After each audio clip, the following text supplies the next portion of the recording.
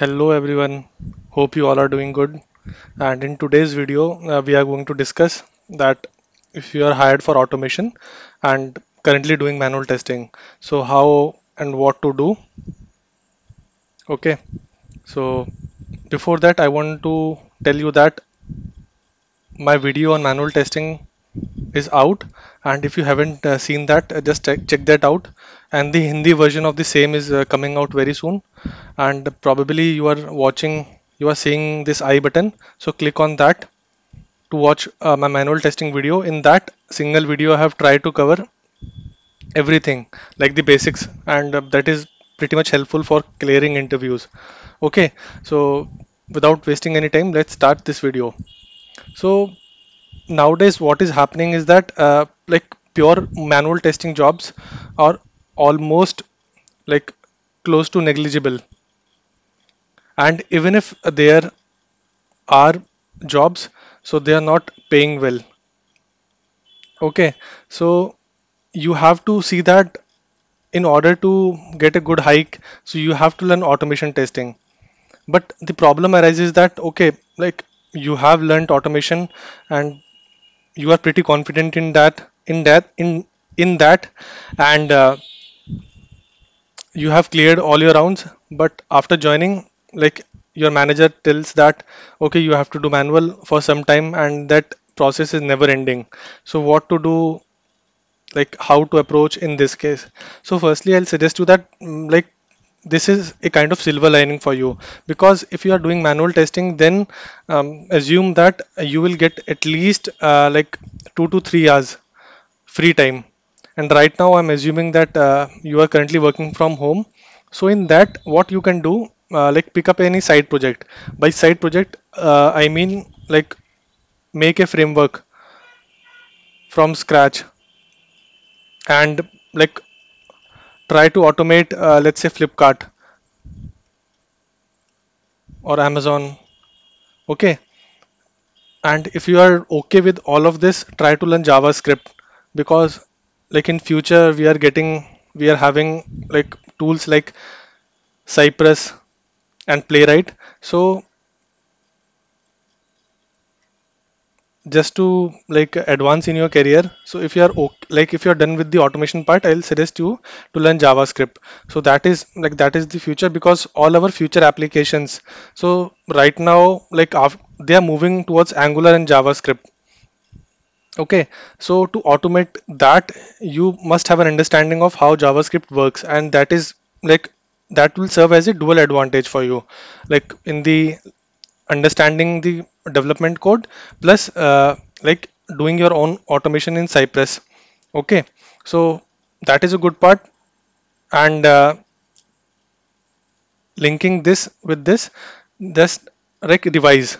So probably like every one month just try to revise whatever you have learned previously. Because uh, i have personally seen that after like joining a new organization and clearing um, interviews we try to like lag and have that laid back approach. So that should not be there.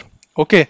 Uh, just keep on revising i'll say monthly and uh, mm, like practice your java programs because if you are doing like currently doing manual testing then there is a possibility that uh, technically uh, you will lag behind. So to overcome it at least uh, like two to uh, three program per week. You should aim for them. And uh, if you don't uh, practice now then you are surely going to forget all your concepts. So just uh, be sharp and uh, practice. So this way um, like you can keep up to date. Like nothing can replace the like ideal working conditions in an organization. Okay so those guys who are working in automation obviously you can't match that level because once you once you work uh, in an organization so what happen is that like right from writing code and deploying to git so there are like other tasks also which you understand like how the agile is working mm, the testers are included in the sprint planning and everything that you are going to miss but still like you are uh, working in manual right? So that way you have to understand that uh, okay what like i have some time so how how can i utilize it and be at the same level uh, or at at the guys uh, who are doing automation and with this uh, like keep on updating yourself so let's say right now if you're comfortable uh, with Java with Selenium, then I'll suggest you like uh, start working on the API because this is the next step. I keep on repeating this uh, every in my in my every videos that uh, if you're done with this now, then like keep on revising and start learning new things, either API or maybe DevOps or CI/CD part. So just keep on upgrading yourself and what happened is that like right now you are two years of experience and uh, you have switched okay so you are in organization a but if you're doing manual and at three years you are still in organization a and at four year of experience if you're trying to switch okay if you're going to be then the expectations uh, from a two year um, guy maybe in automation is java selenium but at four year of experience everyone expect you uh, to at least uh, like learn API and infrastructure part. Okay, so you have like if you don't upgrade yourself and uh, here at like four year of experience, if you're still at this, then like you will you will have some difficulty in switching. Okay, and um, at the same time you will not be able to get your desired uh, like CTC. Okay, so we have to keep everything in mind and uh, like keep on learning new stack uh, that way like uh, you will be uh, with uh, with update with the same guys who are uh, doing automation. Okay. M a n a g e r. Sorry for this.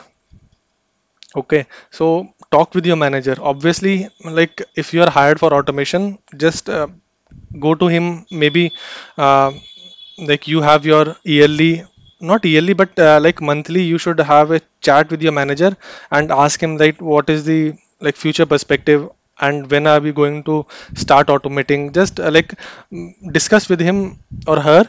And after that i'm sure uh, you will get an idea that okay like what is the uh, like plan for the next six months and similarly you can decide that okay if um, like if you're stagnant that uh, i have to get into automation and you don't see automation happening for next six months. So then obviously like you have to like look out look outside the organization. Okay that will be my suggestion but if your manager convince you that okay in three months we are starting automation so believe me guys there is no better way to start automation uh, like if you are building right from the beginning like from 0 to 9 if you are uh, building something from zero then the amount of uh, knowledge that you'll get like how how we are setting up the environments and everything so that will be unmatchable so try to like stick to it and see how things goes. Okay.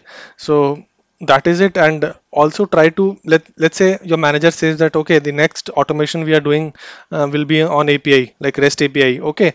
So try in in those three months try to learn api and um, be at a level so that uh, when you start building at that time you don't have to struggle with it. Okay? I hope uh, you got my point and um, like talking with your manager is like should be at the first obviously.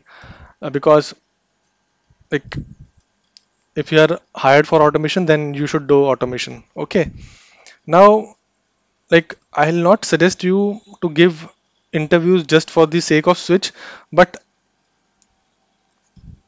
try to like give interviews for knowledge perspective. So when you give interview that way it will show you your mirror that uh, like where you stand amongst everyone. Okay. So what you can do is like at least uh, give interview every three months so that uh, you should always be job ready. Uh, like there is no harm in giving interviews and uh, because if you don't give interviews now you'll not uh, like um, days will become to months and month will be turning into year. And after five years like after three years you will feel like okay like um, tomorrow itself yesterday itself i have switched and how three year went i don't know. So that is called comfort zone. So you don't have to be um, there. Just like when you'll give interviews obviously like there are some interviews which you'll not be able to clear. So that way uh, you will understand that okay uh, these are the things which i need to upgrade myself and it's it's best. Like everything uh, what what we have covered from 1 to 3 will be tested at 5 like in interviews so whatever you're doing correctly or incorrectly that will be reflected in the interviews. So my suggestion will be even if you're not like looking for a switch just give interview that will like show you the mirror. Okay?